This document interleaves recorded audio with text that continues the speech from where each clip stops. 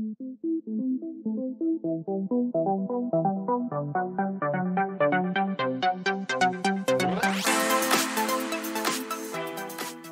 මෙන්න දැන් ලැබුණු පුවතක්. මෙරට කොවිඩ් ආසදිත මරණ සංඛ්‍යාව 10 සීමාව ඉක්මවා තිබෙනවා. ඒ අද දිනේදී කොවිඩ් ආසදිත මරණ 34ක් වාර්තා වීමත් සමගයි. දිනක් තුල වාර්තා වූ වැඩිම මරණ සංඛ්‍යාවද මෙය වනවා. ඒ අනුව මෙරට සමස්ත කොරෝනා මරණ සංඛ්‍යාව 1015ක් දක්වා ඉහළ ගොස් ඇත. එමෙන්ම අද දිනේදී කොවිඩ් ආසාදිතින් 2518ක් වාර්තා වී ඇත.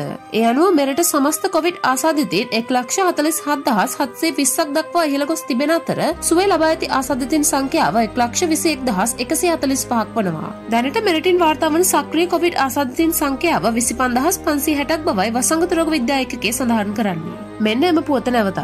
මෙරට කොවිඩ් ආසධිත මරණ සංඛ්‍යාව දාහේ සීමාව ඉක්මවා තිබෙනවා. ඒ අද දිනේදී කොවිඩ් ආසධිත මරණ තිස් හතරක් වාර්තා වීමත් සමගයි. දිනක් තුළ වාර්තා වූ වැඩිම මරණ සංඛ්‍යාවද මෙය වනවා. ඒ අනුව මෙරට සමස්ත කොරෝනා මරණ සංඛ්‍යාව එක්දහස් පහළවක් දක්වා ඉහළ ගොස් ඇත. එමෙන්ම අද දිනේදී කොවිඩ් ආසාධිතින් දෙදස් පන්සේ දහටක් වාර්තා වී ඇත.